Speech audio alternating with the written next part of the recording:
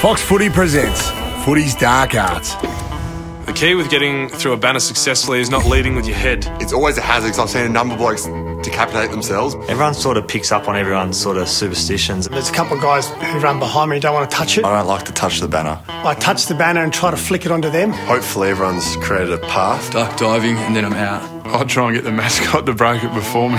just, just jump through it and hope you don't fall on your ass. That's it.